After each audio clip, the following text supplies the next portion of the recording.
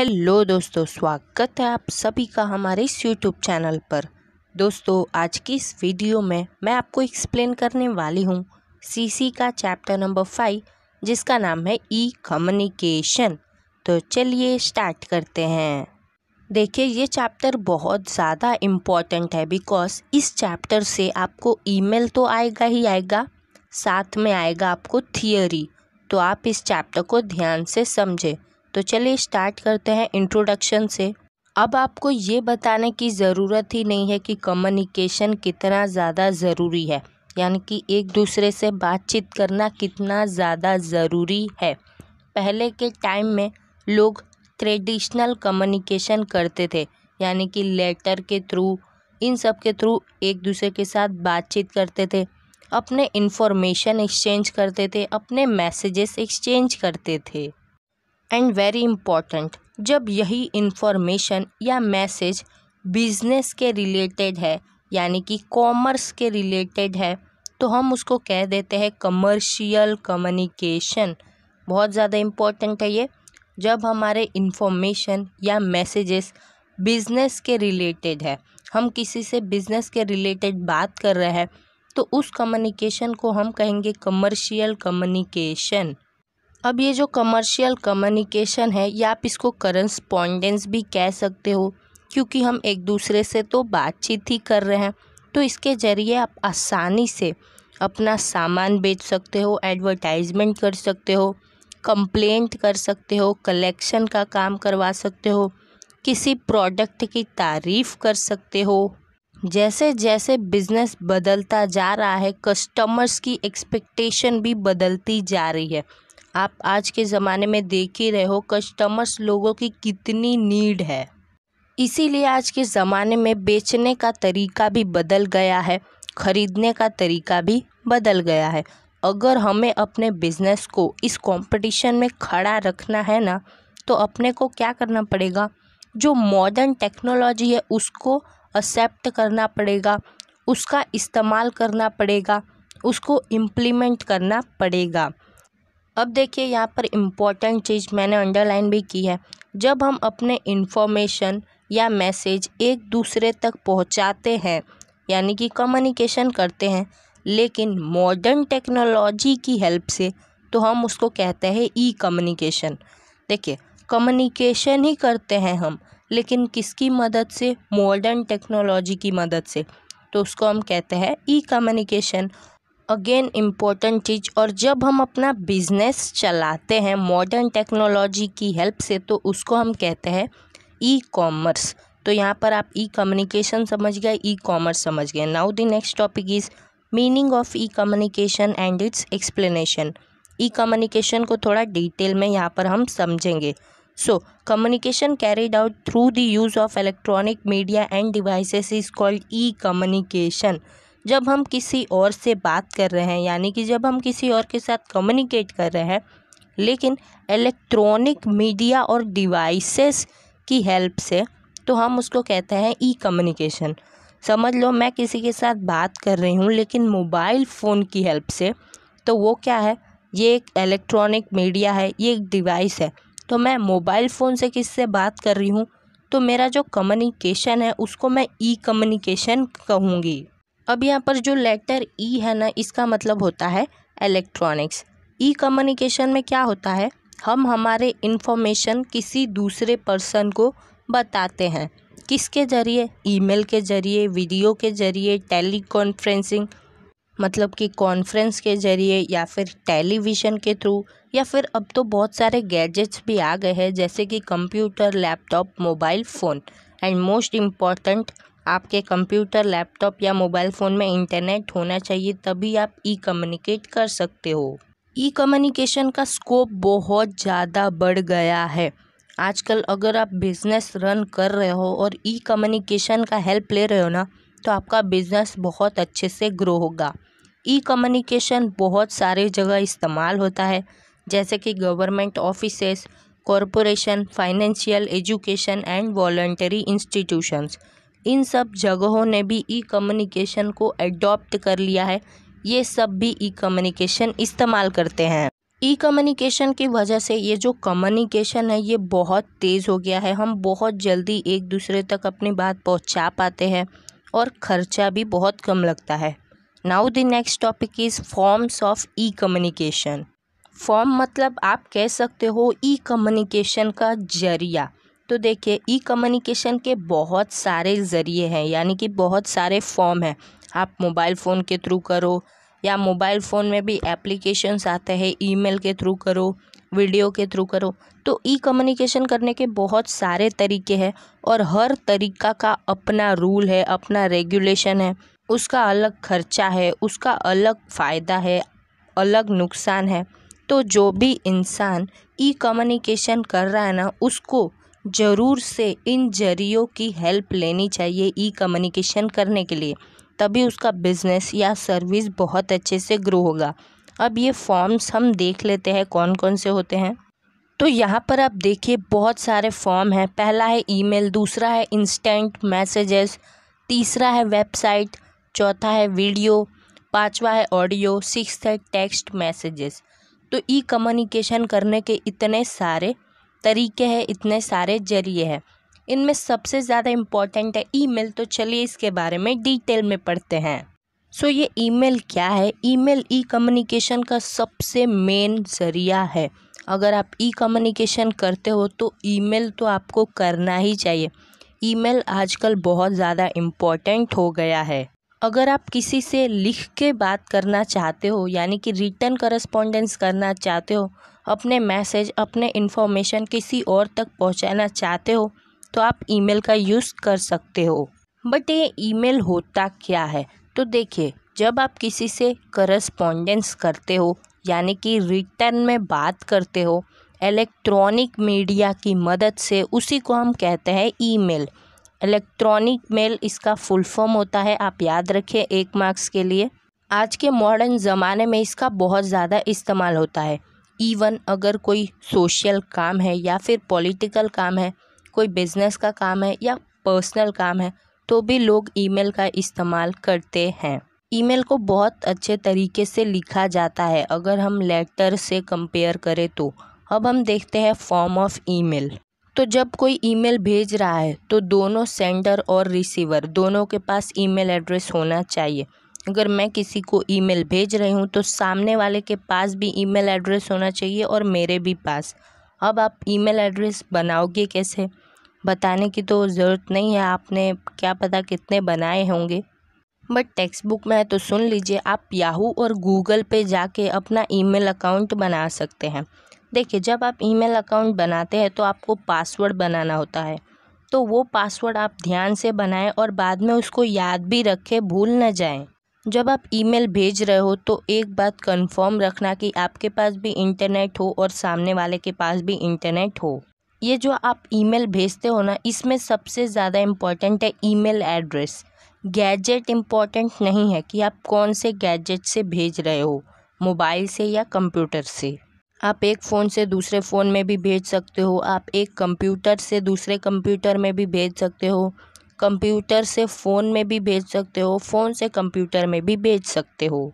अब आता है points to be considered while writing email आपको कौन सी बातें ध्यान में रखनी है जब आप ईमेल लिख रहे हो? सबसे पहला, आप जो ईमेल लिख रहे हो, उसमें आपको सामने वाले का एड्रेस नहीं लिखना है, घर का एड्रेस नहीं लिखना है, आपको लिखना है उसका ईमेल एड्रेस सेकंड में यह है कि समझ लो आप किसी को ईमेल लिख रहे हो और आपको उस ईमेल को दस लोग या बीस लोग तक पहुंचाना है। तो आप क्या करोगे? अगर आपने ईमेल यूज़ किया होगा तो आपको पता ही होगा कि पहले आता है टू, उसके बाद आता है सी सी। तो उस टू में आप किसी एक जन का ईमेल एड्रेस लिख दो और सी सी में आप उन बाकियों का ईमेल एड्रेस लिख दो जिसको आपको भेजना है। और फिर आपका ईमेल उन सबको चला जाएगा। फॉर एग्ज़ाम्पल मैं टीचर हूँ और मुझे दस बच्चों को एक ईमेल भेजना है तो मैं क्या करूँगी? टू में मैं एक बच्चे का ईमेल एड्रेस डाल दूँगी और बाकी नौ का ईमेल एड्रेस मैं सीसी में डाल दूँगी। अभी हम फॉर्मेट देखेंगे तो आपको पता ही चल जाएगा। थर्ड है, अगर आप नहीं चाहते कि आपका ईमेल किसी और के पास जाए तो आप क्या कर सकते हो? उस सीसी वाले एरिया को ब्लैंक रख सकते हो। फोर्थ आपको डेट या ईयर मेंशन करने की ज़रूरत नहीं है, वो अपने आप हो जाता है। फिफ्थ, सब्जेक्ट लिखना बहुत ज़्यादा ज़रूरी है। सिक्स सैल्यूटेशन भी होना चाहिए मतलब कि डियर, सर, मैडम, मैम, ये सब भी होना चाहिए। सेवेंथ ईमेल में आप जो मैटर लिख रहे हो, वो आपको बहुत अच्छी तरीके से लिखना है। Brief and clear. Eighth, email ख़त्म होने के बाद आपको अपना नाम और कॉन्टैक्ट डिटेल्स भी लिखनी है। नाइन्थ देखिए ईमेल में ऐसी सेटिंग होती है कि आप एक बार सेटिंग कर लो, फिर हर ईमेल के लास्ट में खुद ही आपका सब कॉन्टैक्ट डिटेल्स आ जाएगा।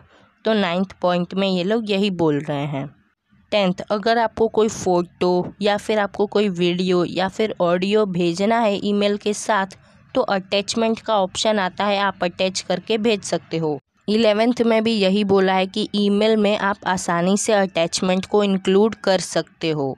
ट्वेल्थ, ईमेल भेजने से पहले आपको एक बार उसे ज़रूर चेक कर लेना चाहिए। अब देखिए, ये बहुत इम्पोर्टेंट है। हम देखेंगे एग्ज़ाम्पल ऑफ़ ईमेल ईमेल आपके एग्ज़ाम में आता ही आता है तो आप इसे ज़रूर ध्यान से समझें। पहला ईमेल देखिए write an email on behalf of Alpha Cycle Bharuch Healthy Cycle manufacturing Noida placing an order to purchase three hundred cycles तो समझ लो आप अल्फ़ा साइकिल वाले हो। आप बिज़नेस हो। आपका नाम है अल्फ़ा साइकिल आप साइकिल का बिज़नेस करते हो। तो आपको हेल्दी साइकिल मैन्युफैक्चरिंग को एक ईमेल लिखना है, क्योंकि आपको तीन सौ साइकिल उनसे ख़रीदनी है। चलिए देखते हैं इसको। टू में आ गया Healthy Cycles at the rate Gmail dot com क्योंकि हमें हेल्दी साइकिल को भेजना है। फ्रॉम में हम आ गए, यानी कि Alpha Cycle at the rate Yahoo dot com ये ईमेल एड्रेस है। सब्जेक्ट में हमने लिख दिया ऑर्डर टू परचेज साइकिल्स फिर हमने सैल्यूटेशन मैंने आपको बताया था सर मैडम तो हमने सर लिख दिया। तो इस ईमेल में लिखा क्या है इन लोगों ने? तो ये लिख रहे हैं कि हमारे कस्टमर्स बहुत ज़्यादा खुश हैं आपके साइकिल के मॉडर्न डिज़ाइन से और आपके साइकिल की क्वालिटी से। और आपकी ये जो साइकिल है हेल्दी साइकिल मतलब साइकिल हेल्दी नहीं है साइकिल का नाम है हेल्दी तो ये जो साइकिल है हेल्दी साइकिल ये हमारे एरिया में बहुत ज़्यादा बिक रहा है। और जैसा कि आपको पता है कि जून से नया अकेडमिक ईयर शुरू होता है, यानी कि बच्चों का स्कूल खुलता है जून से तो बच्चे घर पे रोते हैं कि भाई मुझको साइकिल दिलाओ साइकिल दिलाओ। तो साइकिल की डिमांड तब बहुत ज़्यादा बढ़ जाती है। इसीलिए आप हमको हंड्रेड स्मार्ट बॉय साइकिल भेजिए, जो एक छब्बीस सौ का पड़ता है। और आप हमको seventy five smart girl cycle भी भेजिए, जो अट्ठाईस सौ का पड़ता है। मतलब कि एक अट्ठाईस सौ का पड़ता है। और फिर ये लोग कह रहे हैं कि ये सारे साइकिल आप हमारे शोरूम तक पहुँचा दीजिए। पेमेंट हम लोग ऑनलाइन कर देंगे। एक बार हमको ये मिल गया प्रोडक्ट तो सात दिन बाद हम पेमेंट भी कर देंगे। फिर ये लोग लिखते हैं कि हम चाहते हैं कि आप जल्दी से डिलीवरी कर दें। रोमिल, सोनी, ओनर और फिर इनका कॉन्टेक्ट डिटेल लिखा हुआ है। तो आप समझ गए होंगे इसका format. To from subject, sir और फिर कंटेंट और नीचे आपके कॉन्टैक्ट डिटेल्स। सेकेंड ईमेल देखिए। Write an email on behalf of Gujarat state board of school text book Gandhinagar. Informing the author of concern subject. Regarding the meeting to prepare new text books इसका मतलब ये है कि आप समझ लो कि आप हो Gujarat state board of school text book आप लोग गुजरात बोर्ड के टेक्स्ट बुक बनाते हो और अभी आपको क्या करना है? सभी ऑथर्स को ईमेल करना है कि एक मीटिंग रखी है, आप सब आ जाइए, क्योंकि हम लोग नया टेक्स्ट बुक बनाने का सोच रहे हैं। तो कैसे लिखा है ये ईमेल सबसे पहले टू में हमने लिख दिया professor Hetan Mewada at the rate Gmail dot com अब देखिए यहाँ पर सी सी आ गया। हमें बहुत सारे प्रोफेसर्स को ईमेल करना है। तो एक प्रोफेसर का नाम मैंने टू में लिख दिया, बाकी सबका मैंने सी सी में लिख दिया। फ्रॉम में हमें अपना ईमेल एड्रेस लिख दिया है। तो इसमें भी यही किया है। And subject for the meeting of the subject of commercial communication commercial communication की न्यू टेक्स्ट बुक प्रिपेयर करनी है। इसीलिए इन लोगों ने मीटिंग बुलाया है। तो सबसे पहले इस ईमेल में सबको थैंक यू बोला जा रहा है कि हम आपको थैंक यू बोलते हैं कि आपने इतने सालों तक सर्विस दिया, यानी कि टेक्स्ट बुक बनाए। वो लोग ऑथर है तो वो लोग तो इसी तरह से सर्विस दे सकते हैं। तो गुजरात स्टेट वाले थैंक यू बोल रहे हैं उन सभी ऑथर्स को। फिर कहते हैं कि आप सबको तो पता ही होगा कि जून 2017 से हम स्टैंडर्ड ट्वेल्व के लिए नया सिलेबस बना रहे हैं। तो इसीलिए हमें ऑथर सिलेक्ट करना है ताकि हम नया वाला टेक्स्ट बुक बना सकें। तो उसी के लिए मीटिंग रखी है 22 मार्च 2016 को एक बजे असेंबली हॉल में और वहाँ पर आपको आना है और हम ब्लूप्रिंट बनाएँगे और नए टेक्स्ट बुक के रिलेटेड सब कुछ डिस्कशन भी करेंगे। फिर कहते हैं कि हम आपको रिक्वेस्ट करते हैं कि प्लीज़ आप इस मीटिंग में आए। टीए और डीए सब आपको पे करा जाएगा। ये टीए और डीए मतलब उनके आने का खर्चा, उनके वहाँ पर रहने का खर्चा, खाने पीने का खर्चा, सब कुछ ये लोग देने के लिए तैयार हैं। फिर ये लोग लिखते हैं कि आपका कॉपरेशन हमें चाहिए, चिराग पटेल, और फिर उनकी कॉन्टैक्ट डिटेल्स दी हुई है। तो यहाँ पर हमारा ईमेल भी ख़त्म होता है। अब नेक्स्ट आता है various types of e communication ये भी बहुत ज़्यादा इंपॉर्टेंट है एग्ज़ाम के लिए बिकॉज़ थियरी इसी में से आता है। तो ई कम्युनिकेशन के बहुत सारे टाइप्स कौन कौन से हैं? पहला है ई कॉमर्स दूसरा है ई बैंकिंग तीसरा है e learning and video conferencing चौथा है ई टेंडरिंग पाँचवा है ई ऑक्शन छठा है ई फिलिंग सातवां है ई बुकिंग आठवां है ई स्टैंपिंग और नौवा है ई गवर्नेंस इन सभी को चलिए देख लेते हैं। तो सबसे पहला है ई कॉमर्स देखिए, जब हम एक प्रोडक्ट बेचते हैं या फिर ख़रीदते हैं, कहीं भी और कभी भी इलेक्ट्रॉनिक मीडिया की मदद से, और उस मीडिया में इंटरनेट भी है तो उसको हम कहते हैं ई कॉमर्स एकदम सिंपल बात बोलूँ तो जब हम ऑनलाइन अपने सामान को बेचते हैं या फिर ऑनलाइन हम सामान खरीदते हैं तो उसको हम कहते हैं ई कॉमर्स इसको ऑनलाइन शॉपिंग भी कहा जाता है। जिस भी बिज़नेस को अपना सामान बेचना है, वो लोग क्या करेंगे? एक वेबसाइट पे अपने सभी सामानों को दिखाएँगे और जो भी लोग वो सामान ख़रीदना चाहेंगे, वो लोग उनसे कांटेक्ट करेंगे। अब ये लोग करते क्या है? जो बिज़नेस करते हैं, वो लोग करते क्या हैं कि सामान का एडवर्टाइजमेंट करवाते हैं टीवी पे न्यूज़पेपर में बहुत सारी जगह, ताकि लोगों को पता चले। और फिर लोग क्या करते हैं? ऑर्डर प्लेस करते हैं। ऑर्डर प्लेस कैसे होता है? वो लोग उस वेबसाइट पे जाके भी ऑर्डर कर सकते हैं, या फिर मोबाइल ऐप के ज़रिए ऑर्डर कर सकते हैं। टेलीफ़ोन से भी ऑर्डर कर सकते हैं, या फिर एसएमएस के हेल्प से भी ऑर्डर कर सकते हैं। ऑर्डर तो कर दिया, लेकिन पेमेंट कैसे करेंगे? पेमेंट करेंगे डेबिट कार्ड की मदद से क्रेडिट कार्ड की मदद से ऑनलाइन बैंकिंग की मदद से, या फिर सिंपली कैश ऑन डिलीवरी अब ये जो ई कॉमर्स है ना, इसका स्कोप बहुत बड़ा है। अगर आप बिज़नेस करते हो और आप ई कॉमर्स की मदद लेते हो तो आपका बिज़नेस ज़रूर ग्रो होगा मतलब होगा। अब ये जो ई कॉमर्स है, यानी कि अगर आप ऑनलाइन अपना सामान बेचते हो तो किस किस को बेच सकते हो? अगर आप एक बिज़नेस हो तो किसी दूसरे बिज़नेस को भी आप सामान बेच सकते हो। अगर आप बिज़नेस हो तो दूसरे कस्टमर्स को भी सामान बेच सकते हो। या फिर आप कोई कस्टमर ही हो और दूसरे कस्टमर को सामान बेचना चाहते हो तो भी बेच सकते हो। इसका एग्ज़ाम्पल अगर मैं आपको दूँ तो ओ हम भी तो कस्टमर ही हैं, लेकिन कोई एक आध सामान ओएलएक्स पे बेच देते हैं दूसरे कस्टमर को। तो ये था ई कॉमर्स सेकेंड है ई बैंकिंग तो ई बैंकिंग क्या होता है, देखिए, जब कोई कस्टमर अपने पैसे किसी और को भेज पाता है लेकिन इलेक्ट्रॉनिक डिवाइसेस की मदद से तो उसको कहा जाता है e banking e banking core banking के अंदर आता है। ई बैंकिंग को हम इंटरनेट बैंकिंग भी कहते हैं। ई बैंकिंग होता क्या है? देखिए, अगर आपको ई बैंकिंग करना है तो आप क्या कीजिए, अपने बैंक के वेबसाइट पे जाइए, वहाँ पर आपको अपना रजिस्ट्रेशन करवाना पड़ेगा। वो लोग आपके डिटेल्स देखेंगे, फिर आपको पिन देंगे। और उसी पिन की मदद से आप किसी को भी पैसे भेज पाओगे, बैंक में जाए बगैर। आप अपने घर पे बैठ के ही कंप्यूटर या मोबाइल फ़ोन की मदद से अपने पैसे भेज पाओगे। तो यही होता है ई बैंकिंग और जब आप ये सारा काम मोबाइल से कर रहे हो तो उसको हम कहते हैं मोबाइल बैंकिंग। अब थर्ड आता है E C S, electronic clearing service. तो इसमें क्या होता है, जब हम एक बैंक से दूसरे बैंक को पैसे भेजते हैं या फिर किसी दूसरे इंस्टीट्यूशन को पैसे भेजते हैं। इलेक्ट्रॉनिक सिस्टम की मदद से तो उसको कहा जाता है ईसीएस ये ईसीएस के ज़रिए भी हम पैसे ही भेजते हैं। अब ये जो फैसिलिटी है, ये सभी अकाउंट होल्डर्स को दी जाती है, यानी कि जिसके पास अकाउंट है। हमारे पास भी अकाउंट है तो हमें भी ये सर्विस मिलती है। ईसीएस की मदद से हम आसानी से किसी को भी पैसे पे कर पाते हैं, पैसे भर पाते हैं। अब जो बड़े बड़े इंस्टीट्यूशंस हैं ना, वही ज़्यादातर इसका इस्तेमाल करती है। सैलरी देने के लिए पेंशन देने के लिए इंटरेस्ट देने के लिए या फिर डिविडेंड देने के लिए। और हमारे जैसे लोग इसका इस्तेमाल कहाँ पर करते हैं? हम इसका इस्तेमाल करते हैं बिल भरने के लिए इंश्योरेंस प्रीमियम भरने के लिए लाइट बिल भरने के लिए टेलीविज़न बिल भरने के लिए। या फिर इंस्टॉलमेंट भरने के लिए। थर्ड आता है R T G S, real time gross settlement.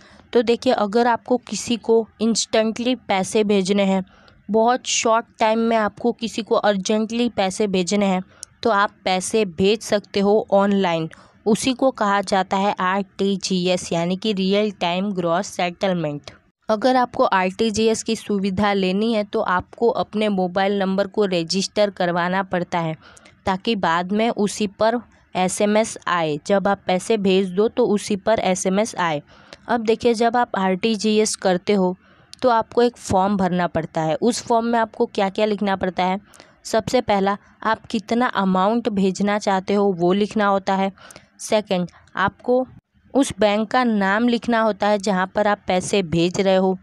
Third आपको अकाउंट नंबर भी लिखना होता है, जिसे आप पैसे भेज रहे हो। एंड फोर्थ आपको आईएफएससी कोड भी लिखना होता है।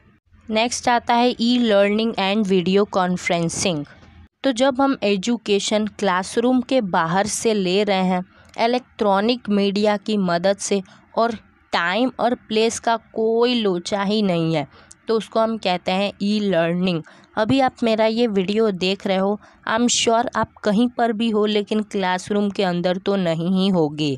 और आप ये जो मेरा वीडियो है, या फिर मोबाइल से देख रहे होगे, या फिर कंप्यूटर से देख रहे होगे तो आप क्या कर रहे हो? आप क्लासरूम के बाहर हो, आप ऑनलाइन इस लेक्चर को देख रहे हो तो इसे भी हम क्या कहेंगे? इसे भी हम कहेंगे ई लर्निंग इसे हम ऑनलाइन लर्निंग भी कहते हैं इलेक्ट्रॉनिक लर्निंग भी कहते हैं, या फिर इंटरनेट लर्निंग भी कहते हैं। ई लर्निंग में क्या होता है कि इंटरनेट की मदद से सारे लेक्चर, सारे वीडियो, सब कुछ वेबसाइट पर अपलोड कर दिए जाते हैं। एज़ पर सिलेबस और मोबाइल फ़ोन की मदद से या फिर कंप्यूटर की मदद से हम वो सब कुछ देख पाते हैं। हम क्या कर सकते हैं? एग्ज़ाम भी ऑनलाइन ले सकते हैं और रिज़ल्ट भी ऑनलाइन दे सकते हैं। आजकल तो टेलीविज़न पे भी बहुत सारे एजुकेशनल प्रोग्राम आते हैं, यानी कि टेलीविज़न की मदद से भी अभी पढ़ाया जाता है। ये तो था ई लर्निंग लेकिन वीडियो कॉन्फ्रेंसिंग क्या होता है? वीडियो कॉन्फ्रेंसिंग का मतलब होता है जब बहुत सारे लोग कंप्यूटर या मोबाइल फ़ोन के ज़रिए बातचीत करते हैं। और ज़ाहिर सी बात है, जब वो बात करेंगे तो इंटरनेट तो होना ही चाहिए। उसी को तो हम कहते हैं वीडियो कॉन्फ्रेंसिंग जब आप वीडियो कॉल किसी को करते हो तो आप क्या कर रहे हो? वीडियो कॉन्फ्रेंसिंग कर रहे हो। इसे हम टू वे कम्युनिकेशन कहते हैं। क्यों? क्योंकि वीडियो कॉन्फ्रेंसिंग में क्या होता है, आपका आवाज़ भी जाता है और आप भी दिखते हो। तो ये टू वे कम्युनिकेशन होता है। नेक्स्ट आता है ई टेंडरिंग सिंपली मैं आपको टेंडर का मतलब बता देती हूँ पहले। टेंडर मतलब क्या होता है, समझ लो किसी को कोई बहुत बड़ा काम करवाना है तो वो लोग क्या करते हैं टेंडर पास करते हैं। जैसे कि गवर्नमेंट को अगर रोड बनवाना है तो वो टेंडर पास करवाते हैं। अब बहुत सारी कंपनियाँ अप्लाई करती है कोटेशन भेजती है। गवर्नमेंट को जिस कंपनी को देना होता है वो टेंडर वो लोग दे देते हैं, फिर वो कंपनी ही रोड बनाती है, उनको पैसे मिलते हैं। ठीक है, इसको तो टेंडर बोलते हैं बट ई टेंडर क्या होता है, देखें। जब ऑनलाइन एडवर्टाइजमेंट दिया जाता है किसी भी इंस्टीट्यूशन के द्वारा मतलब कोई इंस्टीट्यूशन है जो बहुत बड़ा कोई काम करवाने वाली है तो वो लोग क्या करते हैं ऑनलाइन ही एडवर्टाइजमेंट दे देते हैं। फॉर एग्ज़ाम्पल अगर किसी इंस्टीट्यूशन को कुछ कंस्ट्रक्शन करवाना है या फिर कुछ बहुत बड़ा बेचना है तो वो लोग पहले ऑनलाइन एडवर्टाइजमेंट दे देंगे। अब जिनको भी इंटरेस्ट होगा, वो लोग अपना कोटेशन भेजेंगे टर्म्स एंड कंडीशन भेजेंगे। फिर वो इंस्टीट्यूशन को जो भी अच्छा लगेगा, जिसका कोटेशन टर्म्स एंड कंडीशन अच्छा लगेगा, उन्हें ये लोग काम दे देंगे। तो ये सारा काम ऑनलाइन हो रहा है, इसीलिए हम इसको कहते हैं ई टेंडरिंग नेक्स्ट आता है ई ऑक्शन ऑक्शन मतलब होता है नीलामी, और यही नीलामी जब ऑनलाइन होता है तो इसको हम कहते हैं ई ऑक्शन देखिए ई ऑक्शन मतलब वही अगर हम नीलामी करते हैं बट इलेक्ट्रॉनिक मीडिया और इंटरनेट की मदद से हम करते हैं तो इसको हम ई ऑक्शन कहते हैं। इसमें क्या होता है कि जो सेलर है, उसे अपना सामान बेचना है तो वो ऑनलाइन ही अपने वेबसाइट पर अपना वो सामान या अपनी वो चीज़ डाल देता है और उसी के नीचे बहुत सारे बायर्स अपना अपना कमेंट डालते हैं कि मैं इतने में लूँगा, दूसरा लिखेगा मैं इतने में लूँगा, तीसरा लिखेगा मैं इतने में लूँगा। तो वो जो सेलर है, उसको जो भी अच्छा लगा प्राइस जिसकी हाई आएगी, वो उसको वो सामान दे देगा। अब ये ई ऑक्शन कर कौन कौन सकता है? तो अगर आप कोई बिज़नेस हो तो आप कर सकते हो। आप कस्टमर हो तो भी आप कर सकते हो। आप कोई बिज़नेस हो और किसी और बिज़नेस को आपको कुछ देना है, कुछ बेचना है तो आप कर सकते हो। अगर आप कस्टमर हो, किसी बिज़नेस को आपको कोई सामान बेचना हो तो आप ई ऑक्शन कर सकते हो। और अगर आप खुद एक कस्टमर हो और दूसरे कस्टमर को आपको सामान बेचना है तो आप ई ऑक्शन कर सकते हो। नेक्स्ट आता है ई फिलिंग अब ये ई फिलिंग क्या है? तो देखिए, बहुत सारे ऑर्गेनाइजेशंस होते हैं जिन्हें बहुत सारी इन्फॉर्मेशन चाहिए होती है। तो वो लोग क्या करते हैं? बहुत सारे डॉक्यूमेंट के साथ एक फॉर्म भी अपने वेबसाइट पर अपलोड कर देते हैं। और अगर आपको इंटरेस्ट है तो आप उस फॉर्म को भर सकते हैं। फिलिंग मतलब क्या है? भरना। और जब आप ऑनलाइन भरते हो तो इसको ई फिलिंग कहते हैं। सिंपल ये जो ई फिलिंग है, ये जो ई फॉर्म है, इसे कंप्यूटर की मदद से बनाया जाता है। अगर आपको ई फिलिंग करना है तो सबसे पहले आपको उस वेबसाइट पर जाके रजिस्ट्रेशन करवाना पड़ेगा। एक बार आप रजिस्टर्ड हो गए तो आपका अकाउंट बन जाएगा, आपको पासवर्ड मिलेगा और आप फिर उस फॉर्म को भर सकते हैं। कौन कौन ई फिलिंग का इस्तेमाल करता है? Revenue department income tax department और भी बहुत सारे ऑर्गेनाइजेशंस नेक्स्ट है ई बुकिंग सिंपल है, जब आप इलेक्ट्रॉनिक मीडिया की मदद से, यानी कि इंटरनेट की मदद से railway ticket air ticket cinema ticket या फिर किसी प्रोग्राम का टिकट बुक करते हो, उसको हम कहते हैं ई बुकिंग और जब आप ई बुकिंग करते हो तो टाइम और प्लेस का कोई लोचा नहीं होता है। आप कहीं भी, कभी भी कर सकते हो। इसी को हम कहते हैं ई बुकिंग इसे ई रिजर्वेशन भी कहा जाता है। अब आप चाहो तो इसे अपने मोबाइल फ़ोन में भी रख सकते हो, या फिर अगर आपको हार्ड कॉपी चाहिए तो आप उसका प्रिंट भी करवा सकते हो। इसका पेमेंट हम debit card credit card online किसी भी तरह से कर सकते हैं। नेक्स्ट आता है ई स्टैम्पिंग स्टैम्प ड्यूटी मतलब क्या होता है? जब कोई आप पेपर बनवाते हो, आपने देखा होगा उस पर सिक्का लगा होता है तो उस सिक्के के लिए आपको कुछ पे तो करना पड़ता होगा। उसी को हम कहते हैं स्टैम्प ड्यूटी तो जब हम गवर्नमेंट को स्टैम्प ड्यूटी पे करते हैं, अब हम क्यों स्टैम्प ड्यूटी पे करते होंगे? क्या पता हमने कोई घर लिया होगा या फिर कोई रेंट एग्रीमेंट होगा, या फिर शेयर डिबेंचर या बॉन्ड की बात है, या फिर हमने कोई बिज़नेस का रजिस्ट्रेशन करवाया है तो इन सभी जगह स्टैम्प की ज़रूरत पड़ती है।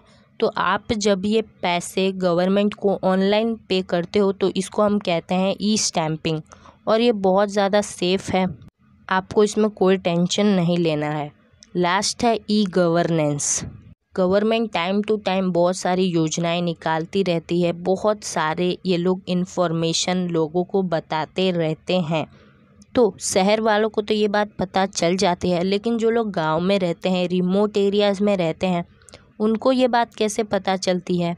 आजकल मोबाइल फ़ोन्स हैं, टीवी है, जो हर जगह होता है तो उन्हें भी ये बात पता चल जाती है। तो इसे ही कहा जाता है ई गवर्नेंस मतलब कि आप कंट्री के किसी भी एरिया में हो, लेकिन आप गवर्नमेंट की सर्विसेज़ ले रहे हो, उनके इन्फॉर्मेशन को जान रहे हो, लेकिन कैसे? इलेक्ट्रॉनिक मीडिया की मदद से मोबाइल फ़ोन कंप्यूटर टीवी की मदद से। तो उसको हम कहते हैं ई गवर्नेंस तो ये चैप्टर यहीं पर एंड होता है। पीछे एक टेंडर का फॉर्मेट है और एक चीफ मिनिस्टर स्कॉलर स्कीम है। ये दोनों इंपॉर्टेंट नहीं है एग्ज़ाम में नहीं आते हैं। फिर भी अगर आपको देखना है तो आप गो थ्रू कर सकते हो। ये बिल्कुल इंपॉर्टेंट नहीं है एग्ज़ाम में आता ही नहीं है, इसलिए मैंने इसे कवर नहीं किया है। Thank you so much for watching this video till end if you have any doubt let me know in the comment section एक चैप्टर बाकी है, उसे भी मैं बहुत जल्द कवर करने वाली हूँ। तब तक के लिए बाय बाय टाटा एंड आउजू